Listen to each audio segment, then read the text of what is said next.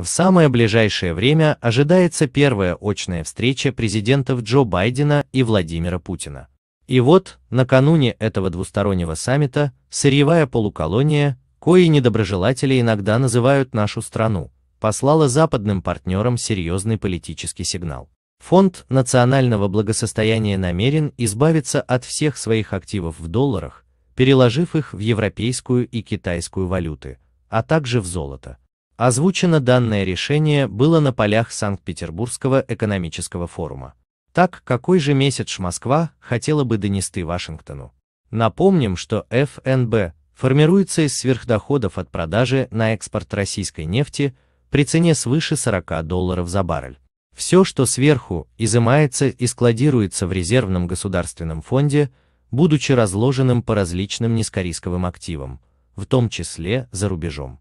Политика ФНБ часто подвергалась заслуженной критике за то, что он служит неким финансовым насосом, выкачивающим деньги из отечественной экономики и направляющим их в экономику конкурирующих с нами западных стран. И очень большая доля правды в этом действительно есть. Но в последнее время с фондом начали происходить достаточно серьезные трансформации. Сперва было объявлено, что его ликвидная часть, превышающая 7% ВВП, будет инвестировано в российские инфраструктурные проекты, о чем мы подробно рассказывали ранее. Теперь очередь дошла до его полной дедоларизации. Что же это может означать? На сегодняшний день структура ФНБ выглядит следующим образом. Доли по 35% в нем занимают соответственно доллар и евро, юань 15%, британский фунт 10%, японская и краткая равно иена 5%. После обещанной трансформации на европейскую валюту придется 40%, на китайскую 30%, на фунт и краткое равно йону по 5%, а доля золота вырастет до 20%.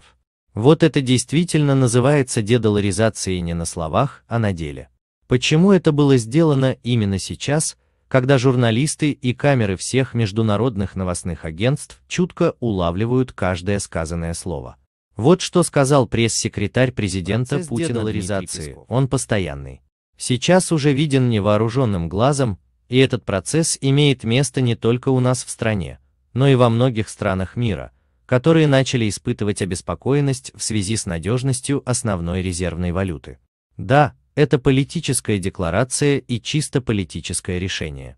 На весь мир в Кремле говорят, что финансовая база в виде нужного всем доллара на которой стоит гегемон, постепенно расшатывается. Но что тогда придет на смену американцу? Не наши же деревянные. Нет, конечно же нет. До статуса мировой резервной валюты российскому рублю еще очень и очень далеко. Но есть евро, есть юань, есть золото. И об этом хочется поговорить чуть подробнее. Если помните, мы уже рассуждали на тему того, что главной целью современной внешней политики США будет остановить или хотя бы замедлить экономическое развитие Китая, своего главного конкурента.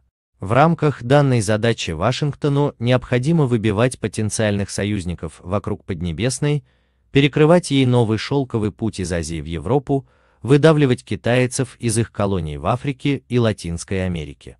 Заставить Кремль занять враждебную или нейтральную позицию по отношению к Пекину в идущей геополитической борьбе КНР и США, вот главная цель встречи Джо Байдена с Владимиром Путиным. И что делает Москва? Демонстративно избавляется от долларов в своих международных резервах и покупает евро, юани и золото.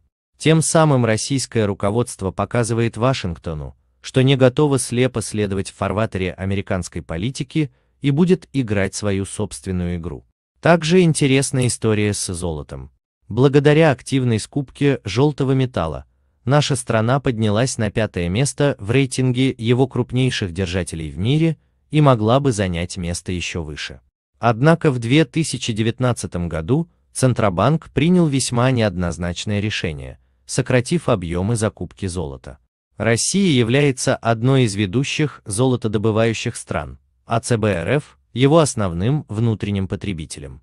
Но в мае 2019 мегарегулятор – ввел сам для себя дисконт на покупку драгоценного металла, и производителям стало выгоднее продавать его за рубеж.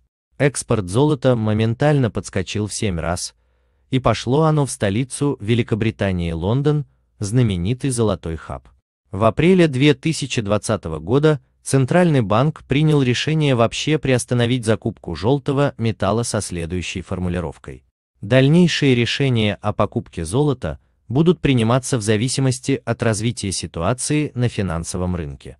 Что ж, видимо, ситуация и правда серьезно изменилась, коли вместо зеленой бумаги, напечатанной и порезанной в США, ведомство Эльвиры Набиулиной готово скупать китайскую и европейскую валюты, а также золото, извечное мерило ценности.